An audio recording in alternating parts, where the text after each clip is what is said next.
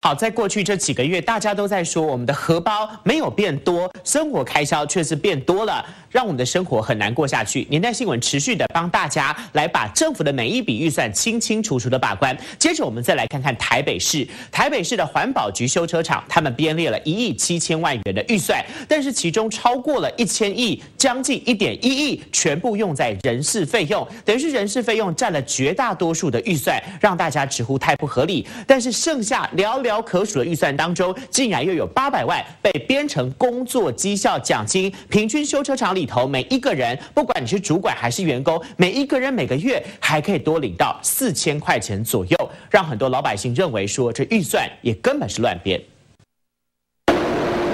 技工拿手电筒仔细检查轮胎有没有破洞，引擎边刷也都要再三测试。这里是环保局修车厂，垃圾车回收车只要有问题都得送到这里来维修。但有议员爆料，修车厂一年编列一亿七千多万，其中七成预算全花在人事成本上，还包括八百七十六万的绩效奖金。通通有奖哦，哈，厂长、副厂长这些办公室吹冷气嘛，拢有哦，哈。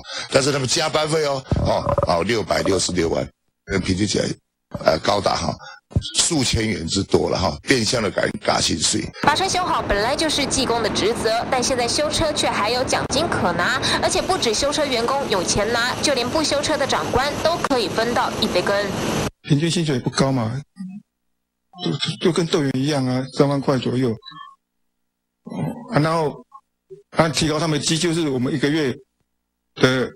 那个奖金也是说四千多块而已，什么也才四千多块而已。厂长说的轻松，每人每月四千多元奖金，每年就得多花人民八百七十六万纳税钱，听在老百姓耳里真的很不是滋味。也难怪议员唠狠话，这样的修车厂还不如废掉算了。